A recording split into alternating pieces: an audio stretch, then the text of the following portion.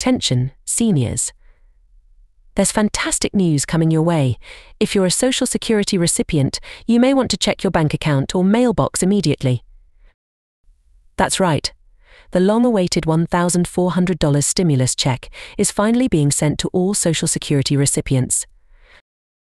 After months of anticipation and uncertainty, these payments are now rolling out. Let's dive into what you need to know. First, let's revisit what this stimulus check is. The $1,400 stimulus payment is part of the American Rescue Plan Act, designed to provide financial relief during these challenging times.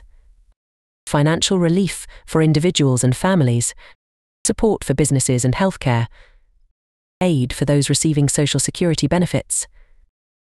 Narrator It aims to support individuals, families, and businesses affected by the economic downturn caused by the COVID 19 pandemic.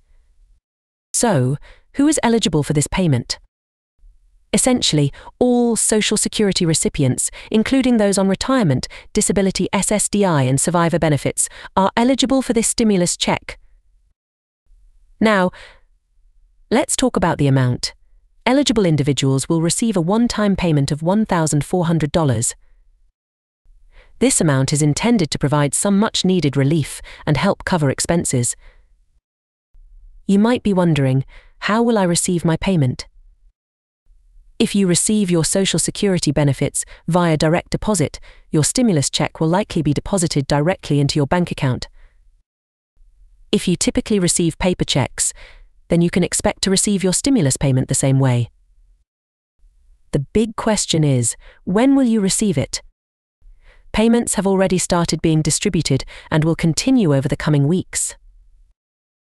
Be sure to monitor your bank account or mailbox closely to see when your payment arrives.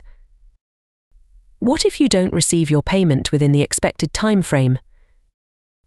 If you don't receive your stimulus check, it's important to contact the IRS or check their Get My Payment tool online. This tool can provide you with information on the status of your payment. In some cases, you may need to provide additional information or resolve issues that may be delaying your payment. A quick but important reminder beware of scams. Scammers often take advantage of these situations. Remember, the IRS will never call, text, or email you asking for your personal information. If someone contacts you claiming to be from the IRS and asks for personal information, do not respond. Hang up and report the scam to the appropriate authorities. Now, let's discuss how you can use your stimulus check wisely. Consider prioritizing essential expenses such as groceries, medications, and utility bills. This payment is designed to help ease the burden of necessary expenses, so make sure you allocate it accordingly. If you find that the $1,400 isn't enough to cover all your needs, there are additional resources available. Local and federal programs may offer assistance for food, housing, and healthcare costs. In conclusion, the $1,400 stimulus check is a significant step in providing financial relief during these challenging times. Remember to check your bank account or mailbox regularly, and don't hesitate to reach out for help if you have any issues receiving your payment. Stay safe and take care, everyone.